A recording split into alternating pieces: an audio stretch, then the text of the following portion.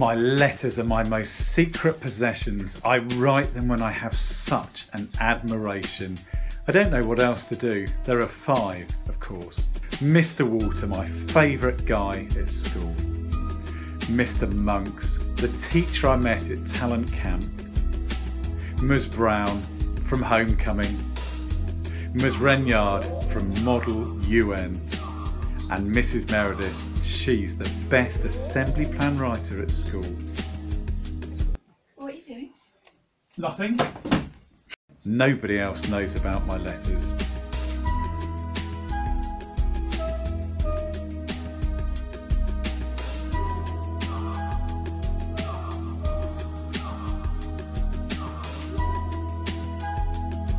The letters are out.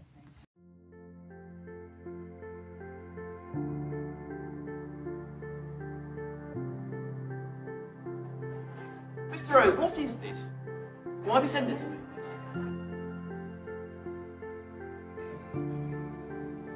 It's Mrs. Meredith, she's coming!